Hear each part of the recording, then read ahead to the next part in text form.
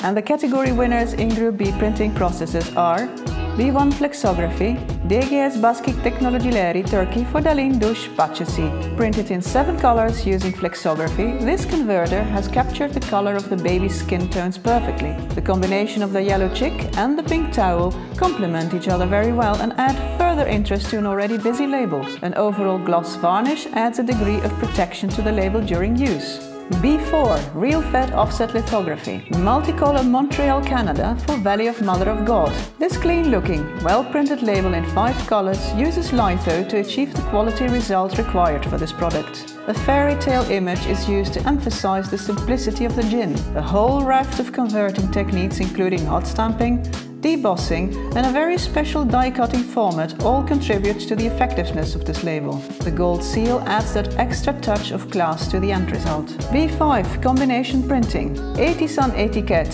for Eyüp Sabri Tuncer Natural Olive Oil Hair Cream. A straightforward label showing a picture of an olive leaf with olives in the center. But dig deeper and we find that flexo and screen technologies were used to print this label in five colors. There is even more. The veins of the leaf are very tactile through the use of an embossed varnish. A touch of silver cold foil and the brown seal screen type add to the various layers of interest in the production of this label.